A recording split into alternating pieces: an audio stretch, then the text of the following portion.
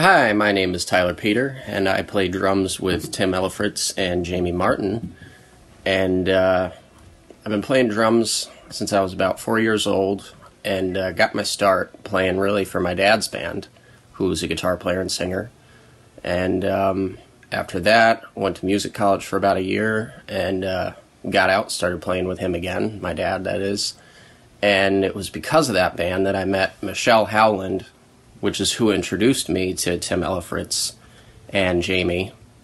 And uh, I played in a band with her, uh, her brother Vinny Ledick, and Tim Ellifritz during one of the rehearsals. Tim busted out one of his originals, and um, I started playing drums to that. And uh, he seemed to like what I did, so uh, he asked me to record on his album with him, and I was more than happy to oblige because it's some really fun music.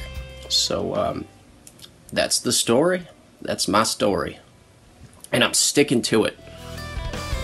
Thanks for checking us out.